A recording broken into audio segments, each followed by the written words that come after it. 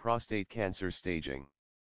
Prostate cancer staging is a method that indicates how far the cancer has spread in the body and is used to help determine the best treatment method for the patient.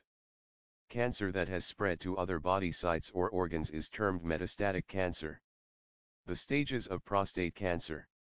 In terms of prostate cancer, the cancer stages are as follows. Stage I, the cancer is small and still contained within the prostate gland. Stage 2, the cancer is more advanced, but is still confined within the prostate gland. Stage 3, the cancer has spread to the outer part of the prostate and to the nearby seminal vesicles. Stage 4, the cancer has spread to lymph nodes, other nearby organs, or tissues such as the rectum or bladder, or to distant sites such as the lungs or bones. Aggressive prostate cancer often reaches stage 4 but others that are less aggressive may never progress past stage I, 2, or 3. Subscribe us to know more health tips and home remedies.